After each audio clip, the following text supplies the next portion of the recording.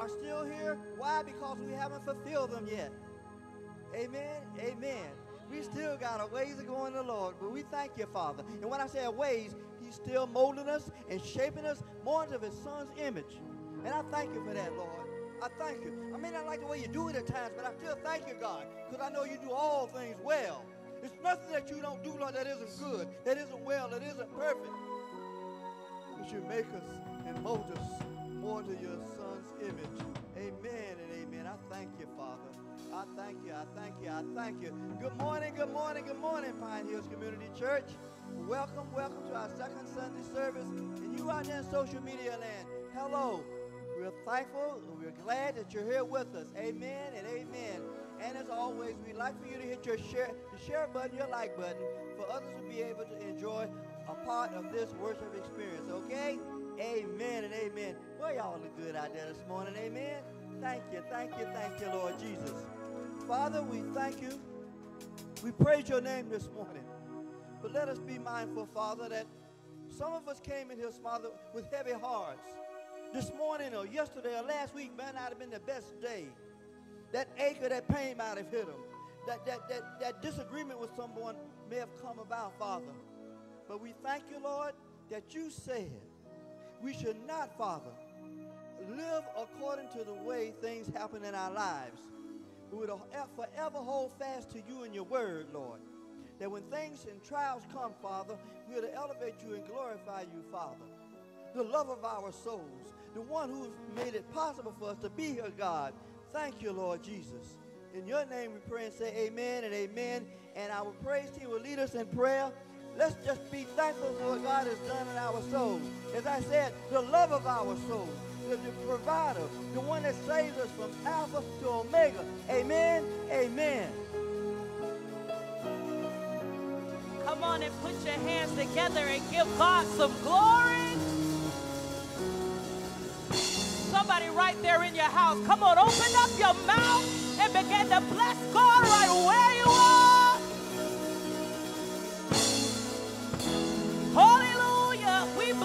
God. Somebody didn't wake up this morning, but thank God that we got another chance. Is there anybody grateful that you've been given another opportunity just to tell God, thank you? Hallelujah. Glory to your name, oh God. I don't know about you, but I'm definitely glad to be in the house. I want to say thank you to Pastor Miles and Lady Kwan, all of the clergy, and all of the members here at Pine Hills Community Church for keeping me lifted in prayer. This time on last week, they went down my throat just to look and ended up having to do an emergency surgery to remove a nine centimeter obstruction that was blocking my breathing. And all I could think of once it was over, if it had not been for the Lord who was on my side, if it had not been for the saints who were sending up prayers, and the word of the Lord declares that the prayers of the righteous availeth much. And so I come to declare to you that it's not over until God says it's over. And whatever the Lord promised you, whatever the Lord spoke over your life, you shall live to see it happen. The devil may try to sift you as wheat, but I come to stand as a witness that you shall live through and you will stand to declare the goodness of the Lord. Is there anybody glad that God gave them another opportunity? I know I'm not the only one that was knocking on the brinks of death's door, but God said no. And we've come to bless them yet another time. Come on, clap your hands, all you people. Sing unto God with a voice of triumph. Lift up his name, for he is good and he's worthy to be praised. Hallelujah. You may be going through something right now, but I come to tell you that if the Lord be for you and if he is on your side, there is nothing that can stop you. There is nothing that can take you out because he is more than this whole world against us. Come on, bless the Lord right there. We're just going to do an oldie but a goodie. I feel good in my spirit and I feel good in my body. Hallelujah. And we're just going to do an old song, but it's a good song. It just says, I will trust in the Lord. So let's put our hands together and we're going to sing it as one big choir. Y'all ready?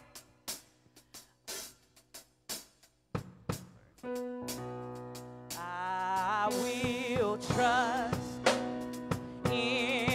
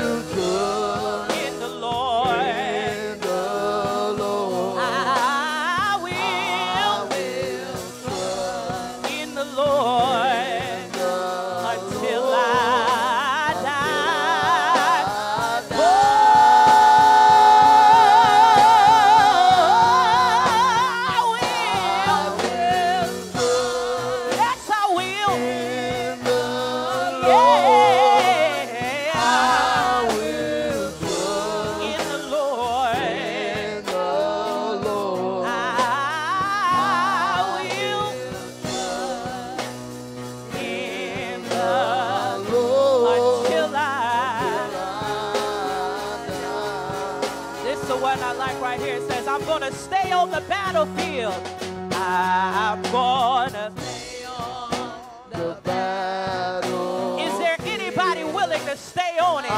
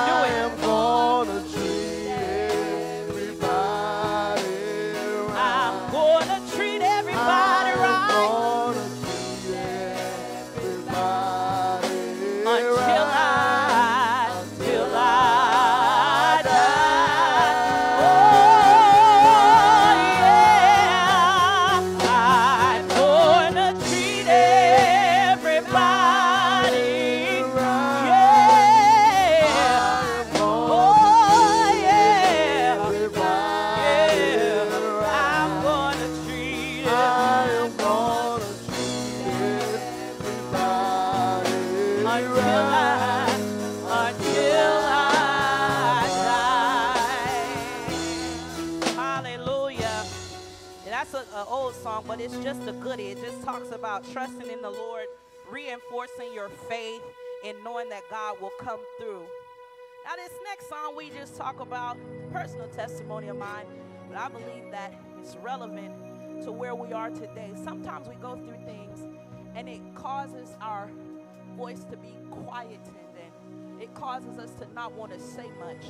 But I want to challenge you today that when the enemy comes up against you to try to make you be quiet, try to silence you, and make you not remember what God promised you, it's during those times I want to challenge you to still open your mouth and declare, even if it's out of a hard place, even if it's out of an unsure place, that I will still bless the name of the Lord, and his praises shall continually be in my mouth because I know that He will bring me through, and I know that He will never leave me, neither will He forsake me. Somebody can put your hands together right there. If you know that He will never leave you, neither will He forsake you, give Him glory right there on that. Hallelujah. Glory to your name. Hallelujah, Jesus. We worship you in this room today because you've been so good to us.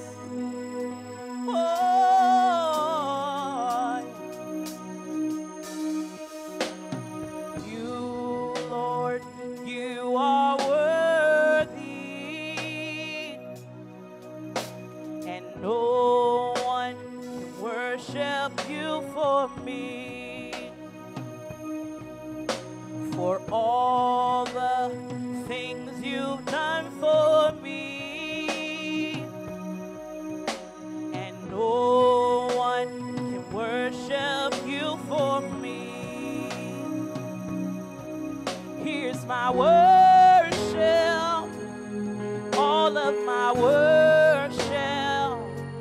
Father, receive my worship, all of my worship. Here's my worship, all of my worship. Father, receive my worship, all of my worship. Here's my worship, saying, Here's my worship, Father, receive my worship, all of my worship. Here's my worship, all of my worship.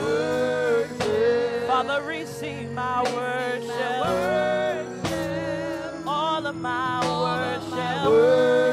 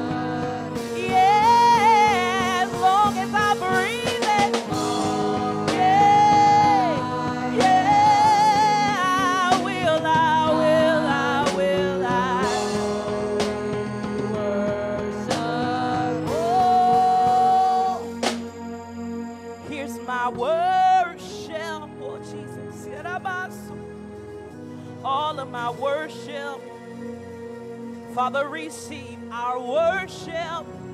As a corporate body, we lift it up to you. All of our worship from a sincere place, from a pure heart.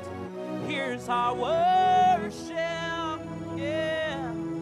All of our worship. Father, receive our worship. Receive our worship. Receive our worship. Receive our worship. Receive our worship. Receive our worship. Receive our worship.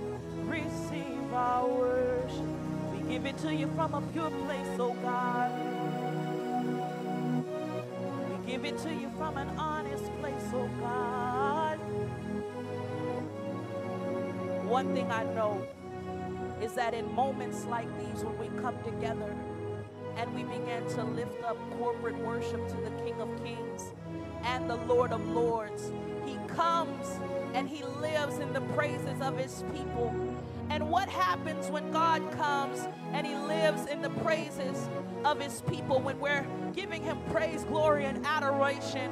What He's doing in is He's coming and He's seeing about your personal needs. And He doesn't have to expose those needs to everyone around you, but He has the ability, as long as you give Him praise, as long as you give an atmosphere, create an atmosphere for Him to live in, you give Him space and you allow Him the opportunity to heal your body, to work on your mind, to fix and mend your marriage, to work on your job, to soothe your troubled soul. If you would just give Him glory in your own personal way, you invite Him in to any trouble, you invite Him in to any issue, and He will, He will come to see about you. If you would just lift up a praise, the presence of the Lord is here, and He's waiting to go to battle for you. He's waiting to fix your body. He's waiting to see about your family. The only thing that he asks is that those who worship, worship in spirit and in truth. Somebody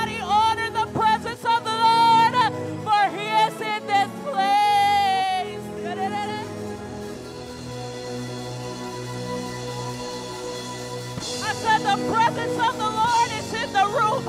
And if you would just worship and praise him, he will come to see about you.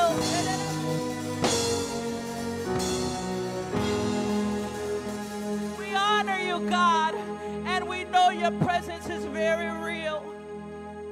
We honor you, God, and we know that your presence is here. Somebody say something sweet to him and give him glory all over this room, for he's working and mending on every person here.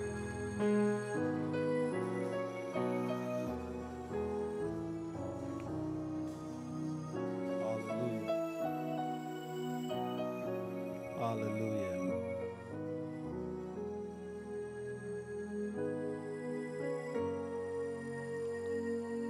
One way that we can recognize the presence of the Lord being here is that if we are filled with the Holy Spirit ourselves, I believe that the presence of God has walked in the doors as well. If you carry the Holy Spirit, if you say that you are saved, I believe that the presence of God is here. A lot of times, man, we use this scripture. We say, if he be lifted up, the Bible says, the Bible says, I'll draw all men unto me. It's not drawing men to us, it's drawing men unto him. If he be lifted up. So here it is. If you in here have the Holy Ghost, and the woman of God say we ought to exalt him, we ought to give him praise. If he be lifted up, he'll start drawing. See, the thing is, we wait for church to lift him up. But if the church wants to grow, you got to lift them up on your job. If you carry the Holy Ghost, See, we trying to come up with strategies and tactics on how to grow church, but growing church really right here is my assignment is really to, to bring upon discipleship here, to equip. But as we go out and we go out into the, our communities and on our jobs, he say, if I be lifted up. So I, I need just a moment. Right now, we're not trying to we're not trying to evangelize to nobody. I just need some worshipers in here. I just just for a moment. I just need some worshipers. Let's love on them for a moment. You brought the presence of God, and is that is that how you gonna lift him up today? I got a question for you. Is that how you gonna lift him up today? Pastor Miles, I'm too tired to lift him up. Pastor Miles, I'm too sick to lift him up. Well, lift him up in your mind. Let the redeem of the Lord say so. If you can't get up, you can clap your hands. If you can't, if you can't, if you can't do anything else, this ain't the time to be macho. This ain't the time to be a diva. This is the time where we all are worshipers. We all are servants of the kingdom. Are y'all hear what I'm saying? I need somebody to help lift him up. If he's been good to you, if he's been working out things for your life, if he keep restoring you, come on, we ought to lift him up in this room. Hallelujah. Hallelujah. Hallelujah. Come on, in your own voice, in your own personal time. This ain't nobody but you and God. If he be lifted up, if he be lifted up, if he be lifted up, if he be lifted up, if he be lifted up, I'll do all the drawing. If he be lifted up, I'll do all the drawing. If he be lifted up, I'll do all the drawing. You don't need a strategy. You don't need a tactic. You don't need another idea. Here it is. If you want people to be drawn unto, lift him up.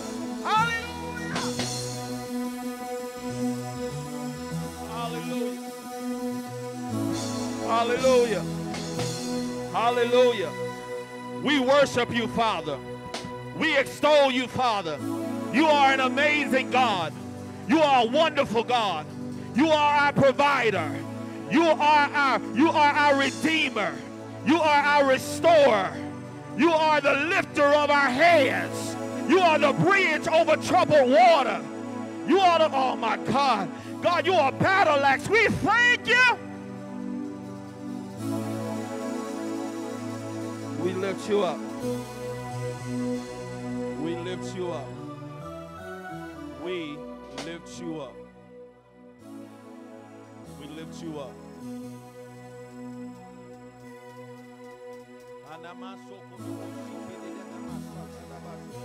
We lift you up.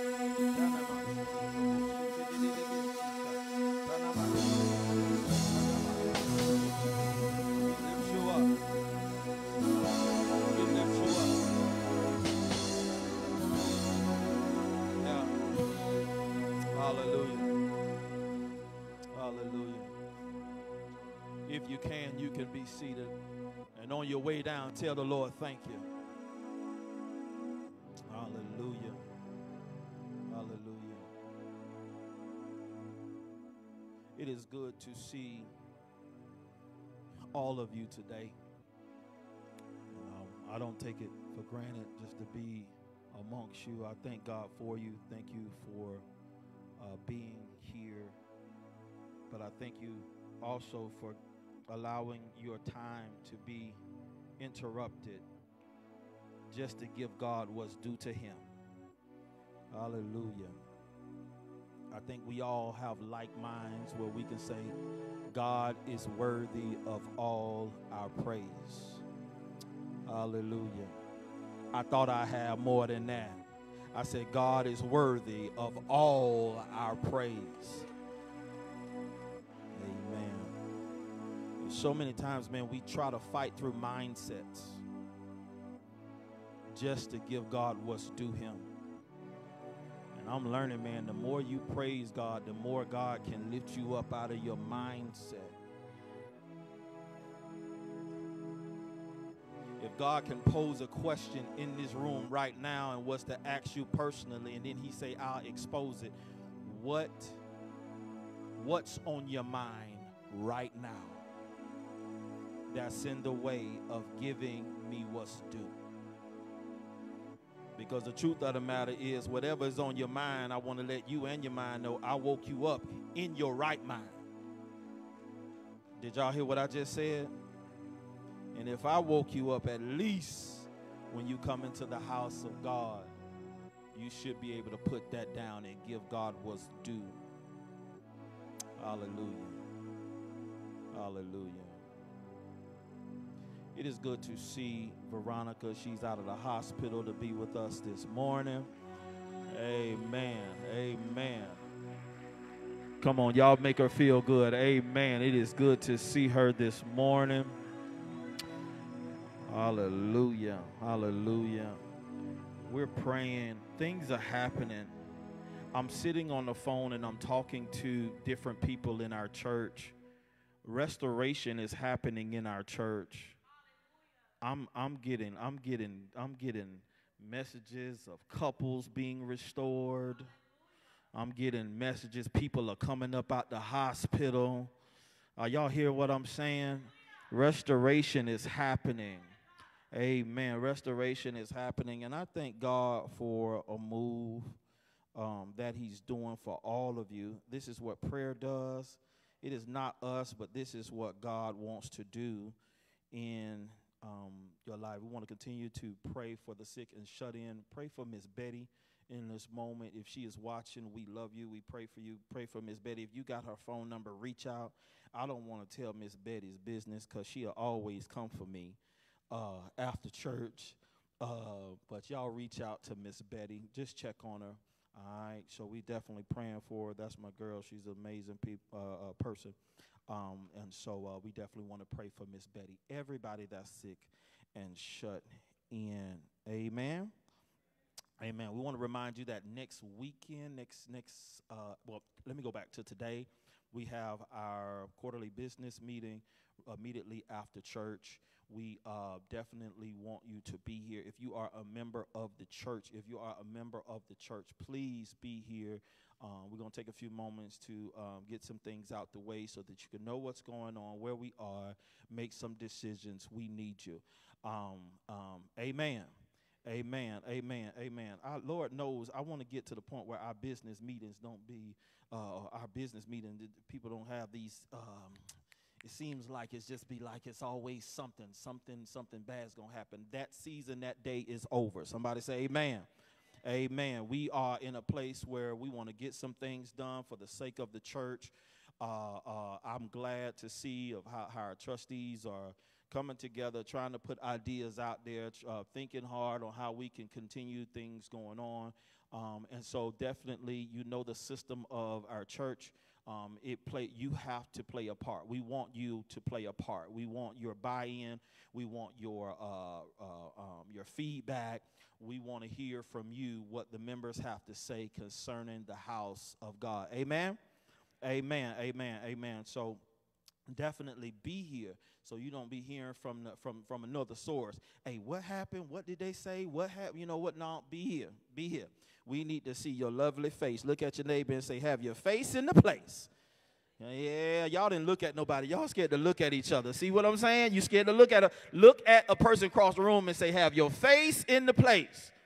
Amen. I know you probably might say, well, Pastor Miles, I don't do all those meetings. I don't care. Just take it, you know, and do whatever. No, no, no, no. That's not the way it works. We want you to be a part and we want you to listen in on what's going on. Your voice matters here at Pine Hills Community Church. Amen.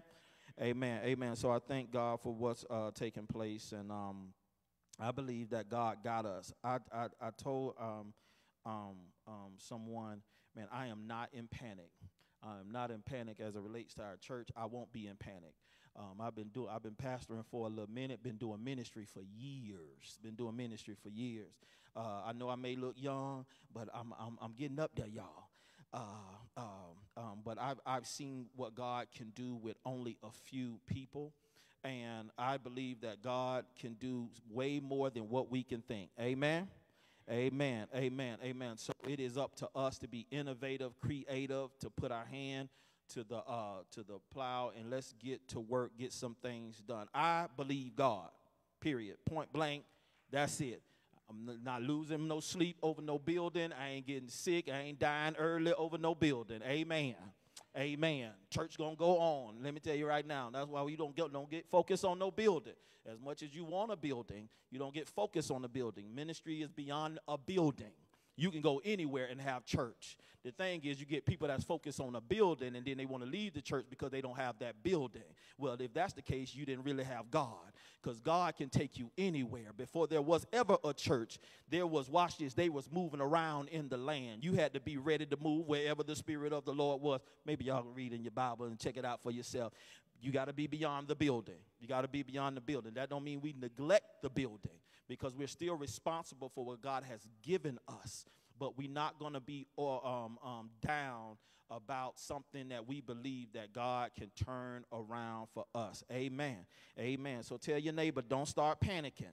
Don't start tri- tripping. It, it, get the information and let's get to work. Let's get some ideas going for what we need to. I know y'all getting quiet. It's okay. It's okay. I told the Lord I ain't dying early over no church.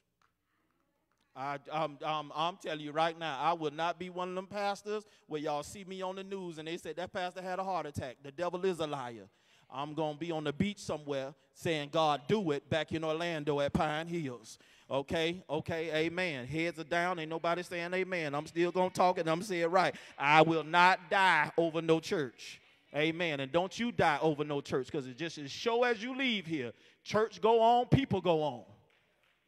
Amen.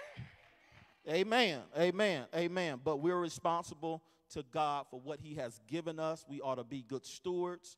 If we say we're committed to this, let's put in the work, our talents, our times, and our treasure. And I believe that God will meet us. If you can stand to your feet, stand to your feet. Amen. Amen. I don't know if Veronica, uh, Sister Kristen, did y'all get my text? Okay, all right. Tristan, if you got that that um, music there. Um, listen, I want you to go to Acts chapter 10. We're talking about family. We're talking about um, um, family today. Acts chapter 10. Acts chapter 10. Hallelujah. Acts chapter 10. Um, to some, this may be very, very familiar, and I want to pull for this from our theme as for me and my house. As for me and my house, we're going to serve the Lord. That's our theme. Um, and so I, I, want to I wanna just, uh, I want you to go down to verse, um, let's see here. Go down to, uh, to verse 44. Amen. Amen. Verse 44. If you got it, say amen. If you don't have it, say hold up, Pastor. Hold up, hold up. Amen. We got it? Okay, listen. The Bible records while Peter was still speaking these words, the Holy Spirit fell upon all those who heard the word. Verse 45 says, Thank you, Tristan. And those of the circumcision who believed were astonished, as many as came with Peter, because the gift of the Holy Spirit had been poured out on the Gentiles also. For they heard them speak with tongues and magnify God. Then Peter answered, Can anyone forbid water that those should not be baptized who have received the Holy Spirit just as we have? And commanded them to be baptized in the name of the Lord. Then they asked him to stay a few days. Church, um, let's pray. Lord, we thank you for your word. We thank you for your presence. We thank you for everyone here. God, forgive us of our sins. Now, God, as I speak your word, please, God, let me speak with clarity Father God, you speak through me where everybody is. Father God, you let this word help them, encourage them, inspire them to be better as disciples We thank you for what you're going to do. It's in Jesus' name we pray. Amen. You may have your seats. Church, I want you to write something down. I want you to write something down if you got notes. Number one, God has a plan.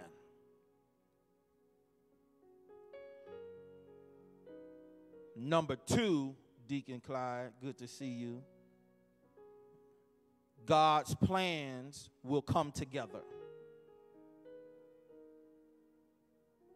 Also, good to see you, Sergeant Willis. You in the house. Good to see you. God's plan, number three, will affect my house. Number one, God has a plan. Number two, God's plan will come together. And number three, here's our declaration today that I would love for you to join in with me. God's plan will affect my house. God's plan will affect my house. It is here, church, that we find a Roman soldier named Cornelius. The Bible records that when you look at from the top of chapter 10, starting verse 1 and down, he is a devout man, he is a man of prayer. Despite being a Roman, Mr. Cornelius was a worshiper of God as well. He was a man, watch this, according to verse 2, who prayed and he also gave to the poor.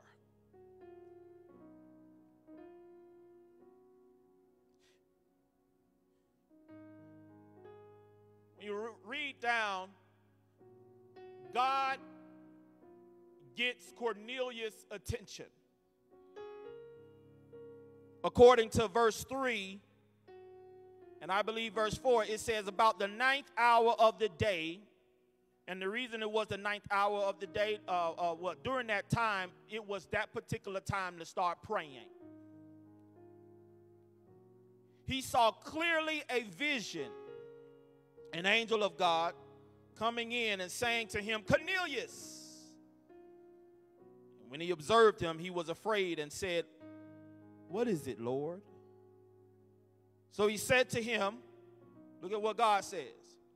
Your prayers and your arm, alms have come up for a memorial before God. And here is the thing, church, that I don't want you to miss. Number one, he comes to Cornelius while praying, fellas. Listen to this. Cornelius was not having a dream, it was while he was praying. And I want every man in here to know God can reveal things while in prayer. Pastor Miles, why are you talking about as it relates to the man? Because last week we talked about the importance of the man, watch this, having a connection with God as it relates to the family. Here is an example to reveal to us that you can or may see some things while pursuing God in your prayer time. What Cornelius did in his private or public, in the public, watch this, who knows, watch this, but it but it but it set him up for a time where God will want to do something weird yet wonderful.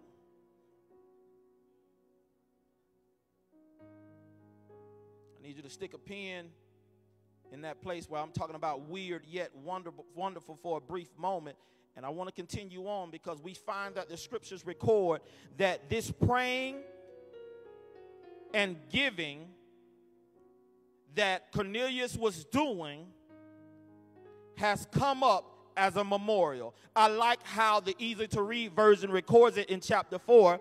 It says, staring at the angel and feeling afraid, Cornelius said, What do you want, sir?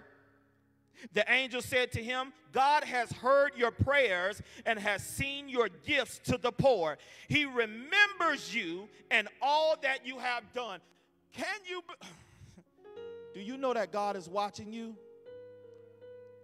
He's watching you while you pray, and He's watching what you put in concerning somebody else's life.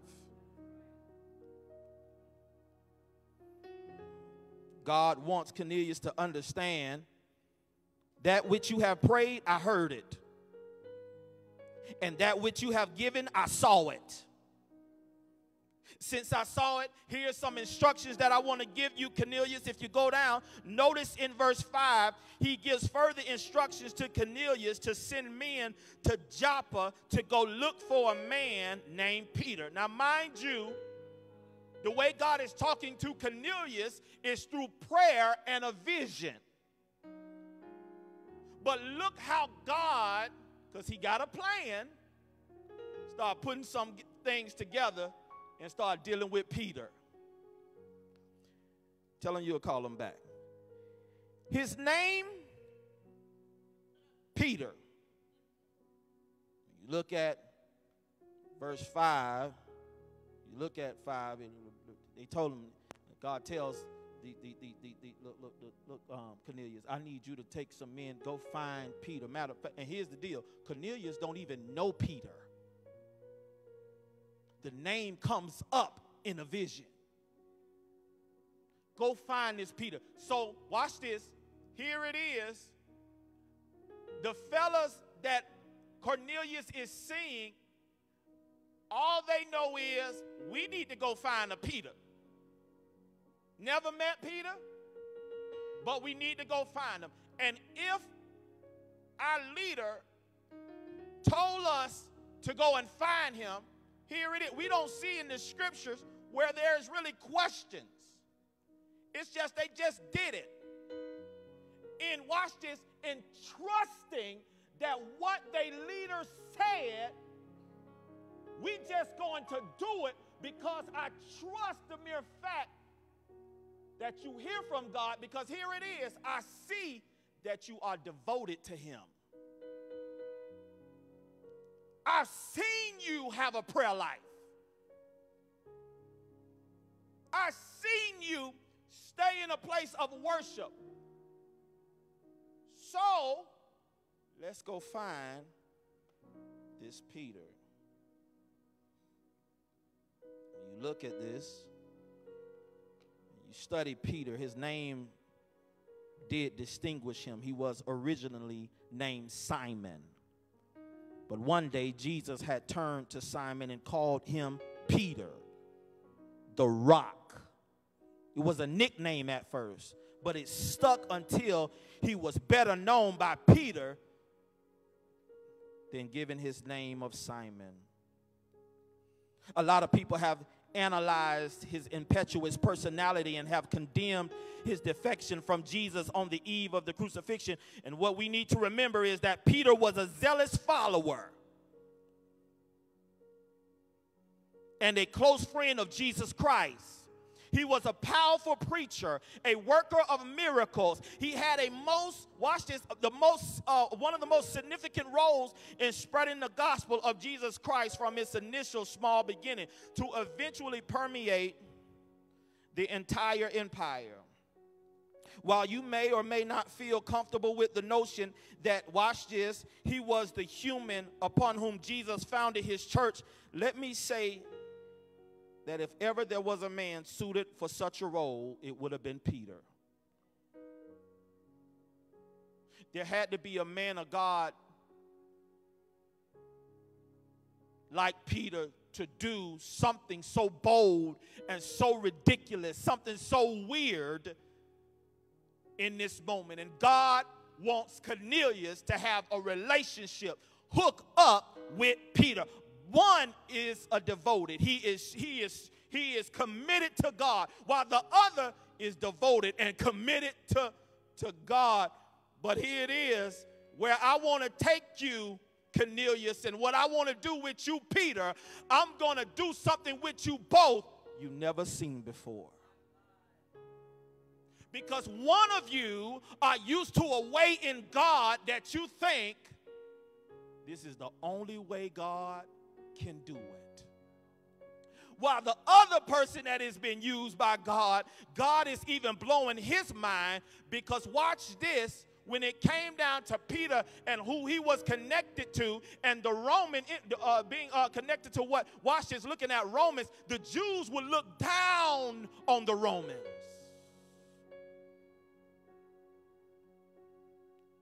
It was, it watch this church, you wasn't supposed to have a real deal relationship with somebody like Cornelius. But God wants to do something new and amazing in the life of this man that's following God. Uh, Cornelius was the type of person that, watched this, he had a little bit of Jew in him, just a little bit, but when it came down to circumcision, there were some things he wouldn't tap into. I'll only go so far in my connection with God. I, am not going to do because I, what I'm a part of, teaches me not to do. And then you got Peter. Peter, he has a relationship with Jesus. You got Cornelius, who got a relationship with God. Both of them got a relationship with God, but both have different views of God. How many of us got friends that got different views of God? What you believe as it relates to God, the other person don't believe what you believe. And I don't see where Cornelius or Peter in the text are arguing over their beliefs. They're not having no division. We ain't, we ain't, we're not gonna be fussing over what we believe. All I know is God is talking to you and God is talking to me. As you go on in this particular story, church, we look at the mere fact that it got to be hard. They don't say it for Cornelius to send his men because, like some of us, can you imagine God revealing some things to you to tell you to do some things and you saying, God, go to who? Go where? First of all, who is this? It's amazing to me how God sends an angel to talk to Cornelius, but he don't send the angel to present the gospel to Cornelius. Because sometimes God has a way of setting up connections he can use his angels just to build a bridge and bring a connection to you. And watch this. Now it's up for, to you to present the gospel. He sends an angel to visit Cornelius he sends them in his prayer time while seeing a vision. But then when you look at Peter, the Bible says, look in Acts chapter 10, y'all, y'all got to read it for yourselves. I don't have time. The Bible says Peter falls into a trance while he's hungry. Now, y'all know good and well, some of us can't think right when we hungry. Because you hangry. You hungry and you have you ever been around somebody that's hungry and they starting to get irritated? Then please, please pull up to this McDonald's, this Burger King. Get, hurry up and pull up to this Chick-fil-A. Get them something to eat because you're a hot mess. The Bible says that Cornelius falls into this trance. This trance is something similar to daydreaming. This trance is it's an out of mind experience. While he's hungry, he's sitting there, and God decides to talk to Cornelius from watch what's on his mind. He uses what's on Cornelius' mind to get his point across. So he starts using food and he tells Cornelius that, listen, watch this. Um, um, what you call impure, watch this. What you think that's not right is going to be right now. And here's what I need you to do, uh, Cornelius. I need you to eat something that you're not used to eating. I need you to take in something that you're not used to taking in. And here is where we, where's a problem because sometimes when God is doing new things in us, we'll be like Peter and tell God, uh uh not me. Peter was bold. Peter never had a problem with telling uh, Jesus no. That's why one time Peter told Jesus no, and Jesus said, Satan, get behind me. Peter was supposed to get his feet washed, and he said, Jesus, don't you wash my feet. No, no, no, no, no. Peter is used to telling, watch this, his leader, no, he's bold. He has in his mind what he think the relationship should be. So he think he can come and tell, watch this, even God no. But here it is, God has to reveal to him. I know I'm in the text, y'all. He has to reveal to Cornelius at least three times to take this thing in because I, and the reason why God will reveal Mr. Davis three times is because surely God wants you to get something, watch this, that you don't think you should have. But I need you to get this because change is in this season. Oh my God. This is why when you look at Jesus, he's not a transactional, transactional leader. He's not a person that he comes in and try to build a relationship or anything with um, off of charisma. He is a transformational leader. What is a transformational leader does? A transformational leader come in and totally disrupt your culture.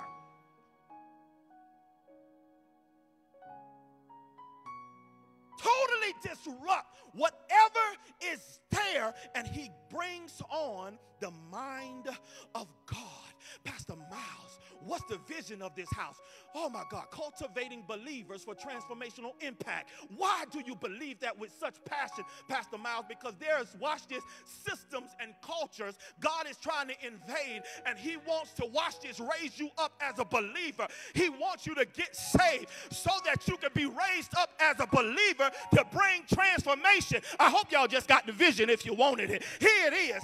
God it wants to use us to bring change and disrupt systems and culture. And he does it in a way, watch this, where he does through love. I don't care whether or not Cornelius, you are a Gentile. I don't care whether you are Roman. I don't care, Peter, whether you've been walking with me and walking with me. I'm getting ready to do what God wants to be done in the earth amongst both of you. And that is bring transformation. Watch this, Cornelius, to your life. But Peter, I'm going to bring transformation to what you thought what was. That means your mind. I only got three claps. It's fine. Uh, uh, Cornelius. God, well, Peter, I know you don't want to eat this, but you're going to have to eat this. You know how people tell you this is a hard pill to swallow? Sometimes you're going to have to swallow them pills. the doctor then told you you need to take them pills. Well, Pastor Miles, I'm on 10 and 20 and 15. Sometimes you get to a point, well, Mother Enoch, I gotta, I gotta take these pills. Nephew, there's places that God's gonna take you, sir, that is gonna blow your mind. It's gonna be weird but it's to be wonderful. Sometime God make us go through the most strangest seasons. I've been in them many of times. He takes you through the most strangest seasons. And you say, God, well, I thought you was to do it like this. I thought this person was to be for me. I thought this person was to be on my side. I thought this was to work like this. I thought I would not ever have to deal with this. But watch this. Sometime God will send certain things in your life. And watch this. It's because God has a plan And watch this. I need you to understand that here it is. I like Cornelius because Cornelius may have been, watch this, a person who was, who was, uh, he had an idea of God. He was raised in such a way that he had a, he, he, he, he thought he was doing right by God. But I like how God intervenes because what you thought was right really ain't right. But I'm so much God that I didn't let you die. And then I saw your prayers and I saw you giving. Here's what caught my attention. I saw that you talked to me, but you really didn't have an understanding of me. And my question was, as I was studying this, oh my God, uh, Cornelius, how long have you been praying to God? And God just been sitting there like, I'm waiting for the right time to change your life. Yeah, yeah, yeah. I'm waiting on the right time to change your view. Because some of you in here, the reason why we can't do kingdom is because God can't change your view. You still trying to bring on your culture. You still trying to bring on your tradition. Watch this. Some of you, it's not about the culture or the family you was in. Some of you got a church culture that, watch this, that's on you that you haven't died to. And God is saying, when I'm bringing you into change, I don't care what you're trying to hold on to. I'm trying to take you to a place that's going to change your life. And I know we don't like that. I know we don't want to hear that. But if God is doing it, when are you going to say yes? Because God is not moved off your emotion. God is not moved off of what you want. God is moved about the expected end that He told you in Jeremiah 29 and 11. For I know the plans Thank you, Holy Ghost. I have towards you to prosper, to bring you to an expected end. I know I'm preaching right. God, Sister Christian, has a plan and he knows how to bring the plan together. That's why I want to tell somebody in here I don't care what you're going through, I don't care what the enemy is trying to tell you. God has a plan. I need somebody to, oh, oh my God, look at somebody and say, God has a plan. When we go into this quarterly business meeting after church and they tell you what we need to get fixed, I need you to say, God has a plan. If you're going to keep telling me problems and ain't telling me the solution, then you ain't dreaming with me. I need some people around me that can dream bigger than the problem. God has a plan.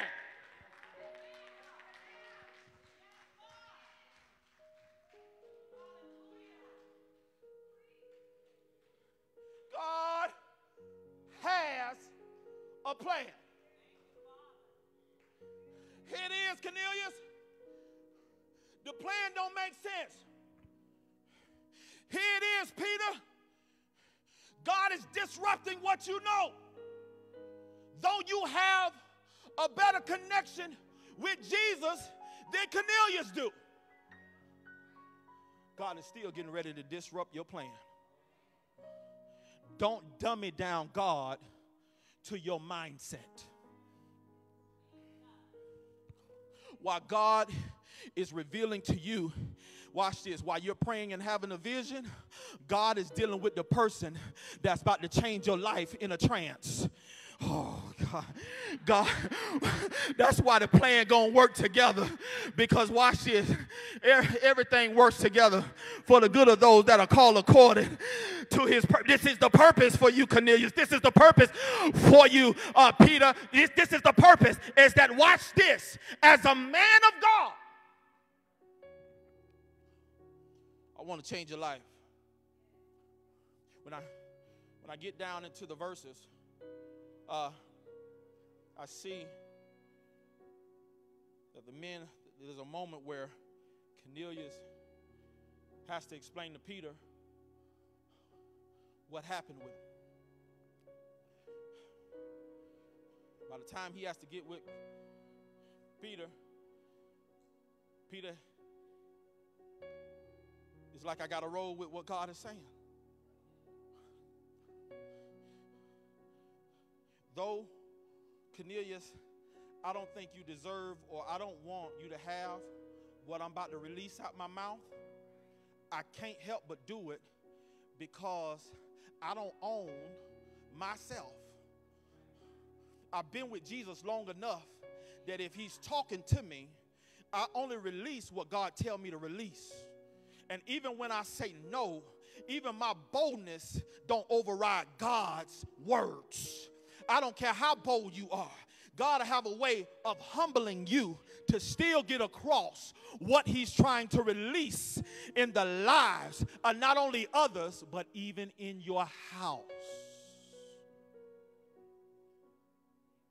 Church, I'm sitting here and I'm looking at in Acts that Peter start presenting the gospel. Listen to me, church. Peter start releasing the gospel. Who is he releasing the gospel to, Tara?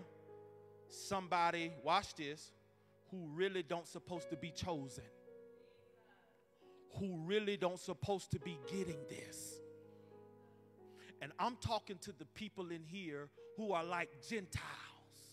All of us at one point was like Gentiles. And here it is that God's grace and mercy finds you and say, even though you don't deserve this good news, this good news of peace, this good news of reconciliation, this good news that Jesus died, the good news that he stayed there, the good news that he got up with all power in his hand, the good news. This is the good news to you, Cornelius, that watch this. The gospel is here to change your life, even though you don't deserve it. Pastor Miles, calm down. You don't supposed to be yelling. I get excited, y'all. I get excited because I was once too the person that don't deserve it, Reverend Christian. I don't, I don't, I don't, I don't have all the things in place, but God finds some way somehow to keep showing up in my house, to keep showing up in the hospital, to keep showing up in the job, to keep showing up in my marriage, to keep showing up in my children. And He wants the gospel to be released. Oh my God. But it started with a man who had Watch this, Mr. Charles, a prayer life. He was devoted to God. He might didn't hear God like you heard him, but he had a relationship with God. What he thought he knew, what he thought he had right, he didn't have it right, but God wanted to finish this thing. I saw what you've done. I saw the mere fact that you gave out of the mere fact you thought it was pleasing me. I saw that you prayed out of the mere fact you thought it was pleasing me. Now let me give you something that really pleases me.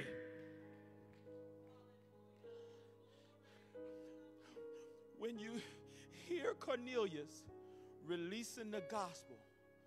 Miss Hawkins, he's releasing the gospel in the house of Cornelius. Quan, as for me and my house, we're going to serve the. Here it is, ladies, because sometimes your man won't tell you that the relationship with God they got it may just be a little bit. I thought I got him. And sometimes, ladies and fellas, we got to be patient, and that's why we got to stay in prayer because the question is, God, what else do you want to reveal to my man? What else do you want to reveal to, watch this, my family? What else do you want to reveal to the men that I sent to Joppa? Because sometimes it's not about your family, it could be about the people who serve you. See, the gospel is bigger than you, the gospel is bigger than your servants, the gospel is also for your family. As for me in my house, those who are, are up under my care. God wants, watch this, his desire is that all may be saved. Now, here it is everybody's not going to be. But that don't stop the believer, you as Peter, from God using you to present the gospel. Because Cornelius is a representation of the world, but Peter is a representation of us who believe. He's steadily trying to beat down what you thought that was me. So when you pray Shishi, it's really like God, disrupt my mind. If I need anything to be moved out the way, get it out the way so I can be a better leader, a better follower. Because how many people am I coming in contact with in my life who are Cornelius and I'm never releasing the gospel? All because you got a mind of what you thought what was. You saying that person in the street don't need to hear you. You saying that person on the job, they want to talk more about vacation than you sharing the gospel. Here is also what I liked. While Peter was sharing the gospel, the Bible says the Holy Ghost came on him. Here it is. You too busy trying to figure out what next should I say. God is saying, I just need you to take the first step, and the Holy Ghost is going to fall. That's why I say, if he be lifted up, the Bible says, I'll draw. How does he draw? Because he draws through something invisible. It's called the Holy Ghost. You can't see the rope, but the Holy Ghost is the, is the rope that's pulling you.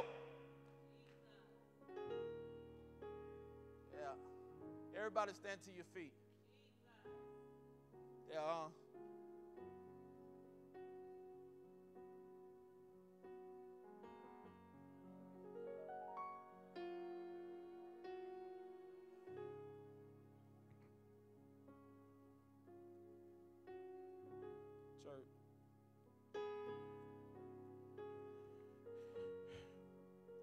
If you notice,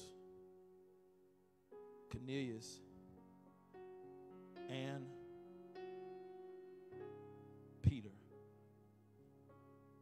God deals with one while praying and seeing a vision. Vision is prophetic, but vision also, watch this, it starts in the mind.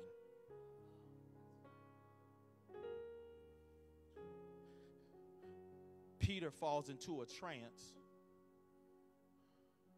which when you deal with daydreaming or you deal with, watch this, you ever talk to somebody and while you're riding with them, you're talking, you're talking, you're talking, and it seems as if the person right there is listening, but then it's kind of like they snap out of it and say, Oh, what you saying?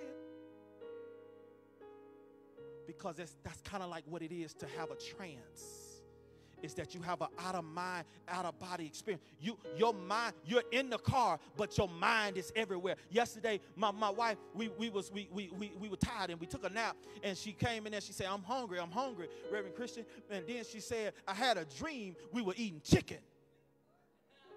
And guess where we went? I tell all her business. Guess where we went right after we uh, we got ourselves together, Miss Maxwell? We got up and went to this food truck that had chicken wings. Her mind is going. What am I trying to say? Make the point clear. God wants to deal with some of you through your mind because the warfare is in your head. Sometimes God reveals, watch this, not to the men that's going to be sent to go get Peter. He starts the vision in the mind of the leader. The frustration of church now is that, watch this, we as humans can't see what the leader sees. So it frustrates the heck out of you because as much that you want to put your hand on it, you can't because sometimes God will download vision through your man. Ladies, you trying to figure out what is this, but could it be God is talking?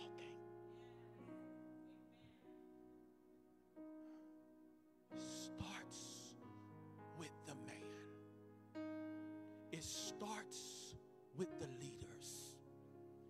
going to change your household, it starts with you allowing God to open up your mind. Ask God in your prayer time, open up my mind. Give me new ideas. Give me a new way to talk to my son. Give me a new way to deal with my daughter because we have a relationship that is broken. Give me a way to deal with my family because it is hurting me. It is it is a strain on me. This is tearing me into pieces. And God is saying, I am answering your prayers. I am going to deal with you. But here it is, Peter. You got to be open to eat what you ain't used to, what's not common. You got to be open to watch this, to embrace the uncommon because I'm getting ready to do a new thing. And the transformation that's coming to your family really started in your mind. Y'all ain't saying nothing in here. God wants to change your mind so that when you go back and you handle any family situation, those who have hurt you and abused you, you are going back with a changed mind. Be not conformed to this here world, but be ye transformed by the renewing of your mind. How do you see what God is trying to give you? Lord, we thank you today. And so, God, have your way in our lives. We pray, God, that in here, anybody that's going through something that need mind change, God, whatever it is, God, work through our minds, work through our dysfunction, work through what ain't working, work through what's not right, work through the areas that's broken. God, bring reconciliation. God, bring peace. God, bring clarity. God, expose me to things in you that I did not know. God, so that I can please you. God, and when it, God, when you work on me, please, God, will you impact my house? God, we know that you have a plan. We know that, God, it works together. God, that your plan is going to work together. But also, God, we want your plan to impact our house. And I declare today that, God, your plan shall impact every person up under the sound of my voice. God, you will impact their house.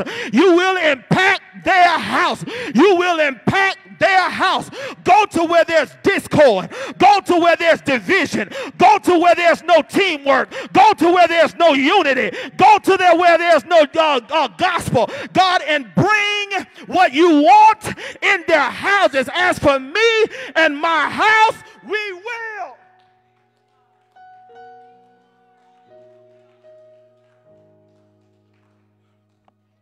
So, God, those who are not saved, if everybody look like everybody, I know everybody in here. We're all saved. Here is my prayer for you. Take this sermon, and whether it was whack or not, I need you to take the sermon, listen to it again and again. And I want you to really get this in your belly. And I want you to find every person that you're coming in contact with. Start praying and asking God, when should I release this? When, when, when should I release this gospel? When is the right time I should tell you that God wants to bring peace in your life? I know you make great money, but you ain't got no peace. I know you got great jobs, but there's still something missing. I know you something there's something missing because you're depressed. You got a spirit of fear on your life, and God has not given us the spirit of fear, but He's given us power, love. Y'all help me preach this, and a sound what? Mind. God wants to change your mind. God wants to change your heart. So, God, we're all saved. Those who are watching us, if you're not, let God change your heart, let God change your mind. I pray that you are watching this right on your couch, while you're in your kitchen, while you're listening, riding in your car.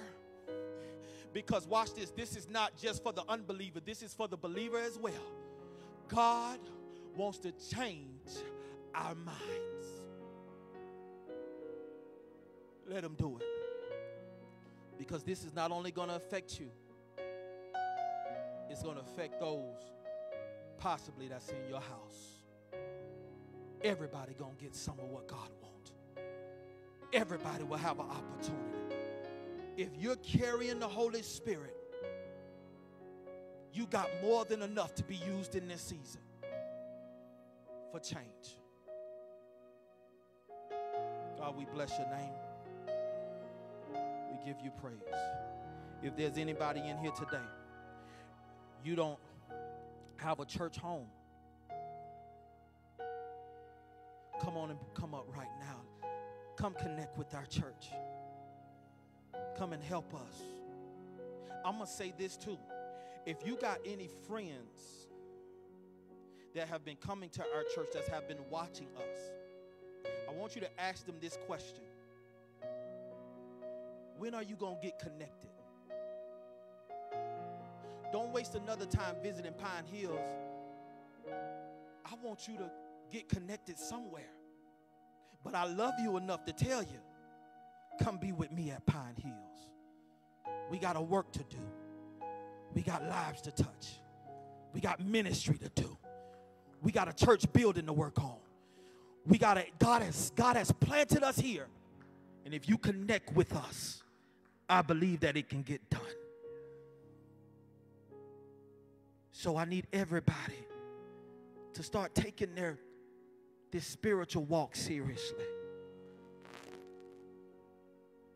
God used him like never before. It's in Jesus' name we pray. Amen. Amen. Let's give our seat. Let's come on. Let's get ready to give our offering. Amen. If God has blessed you today, let's give him a hand clap of praise as well. Amen. Listen, we're getting ready to give. We're getting ready to give. If it's your time to tithe, amen, tithe. If it's your time to give your offering, let's do that. Thank you so much for being obedient. Amen. Being obedient as we can see today that God watches our giving as well as hears our prayers. He's he's watching our giving as well as hearing our prayers. If God is continually to uh, continuing on to keep your body, to keep your mind, and to keep your house, to help you still pay them bills, we should put something aside just to help. Watch this. What we got here at church. Amen. Amen. Amen. Amen. So my prayer is that we're being obedient amen to god because your your um your sowing your giving it helps to keep the lights on here it helps to get things fixed it helps us to keep us afloat until god bring us into a greater season and i believe that is coming ushers you can come on you can come on amen Amen, amen, amen. Good to see our ushers today. Good to see those men. Y'all see our men. Y'all give it up for our men. Amen. Amen. Amen. Good to see them. Amen. And uh, men, you can go ahead and serve. You can go ahead and serve in this time. Amen. Amen. Amen. Remember, um, next Sunday we have Wings of Faith anniversary. Wings of Faith, our seniors anniversary. Amen. Amen. I'm hoping that uh, Sister Betty will be here.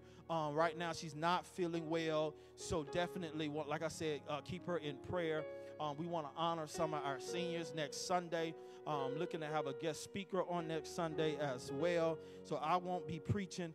Amen. This is for our seniors. It's for our seniors here at our church. I thank God for our seniors. Amen. Amen. I thank God for their wisdom. I thank God for their for their insight. I thank God for them pulling me aside and saying, "Hey, Pastor, we need this. We do this. We want to hear this. We want to have this, and everything like that." Thank you so so much. Stretch your hand towards the offering. Lord, we thank you for the seed that have been sown. We pray that it be used for the edifying of your kingdom. It's in Jesus' name we pray. Amen. Amen. Amen. You may stand to your feet. Let's get on up out of here. Amen. Amen. Um, I think we're going to break away. How many minutes we need, Ms. Maxwell? Five? At least to 11.30. So that'll be 10, 10 minutes, y'all. Probably about nine, nine minutes. Go out there, get you a little snack, some juice, little muffins or whatnot. They're going to get set up in here, and we're going to have this meeting real quick so that you can get to brunch or go eat wherever you want to eat. Lord, we thank you for this day. Thank you for, Father God, uh, your word. Thank you for this time. Thank you for your challenge, God, today, Father God, so that we can go and touch more people. I pray, God, that the angels be encamped around our vehicles and our homes, that we may get home safely and have a good night's rest. It's in Jesus' name we pray. Somebody say, Amen. We love you. If you got to leave, we understand. But if you don't, please stay to hear what we have at the quarterly business meeting. Amen.